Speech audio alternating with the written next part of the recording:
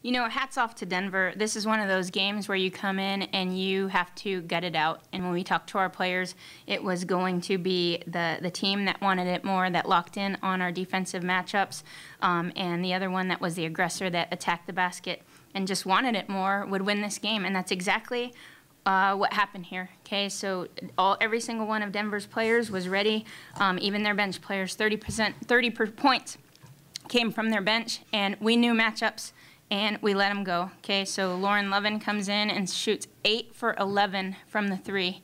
And that's all we focused in on with that player coming off the bench, knowing that the only thing that she can do is come in and shoot the three. Um, so for us today, it was a lack of focus on the defensive end, definitely. And in crucial situations, they were attacking the basket and finishing at the rim, and we just weren't converting on that end.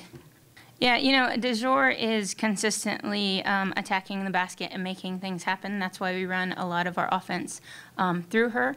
Um, I think at times, if I could uh, get her breathers here and there, um, she'd have legs at the end. So I think on my part, substitution wise, um, trying to get her a, a, few more breathers so that she has energy at the end there. Um, you know, Rachel had a great first half attacking the basket. Um, you know, and I think she had one one basket field goal um, in that second second half. Um, you know, great job on the boards. Um, we asked her to go get them uh, on the defensive end, and she definitely did that. She attacked the offensive board. So um, again, playing playing really hard, but at times um, we just don't play with purpose. I think that we started off being really aggressive. we had some mental lapses, but overall.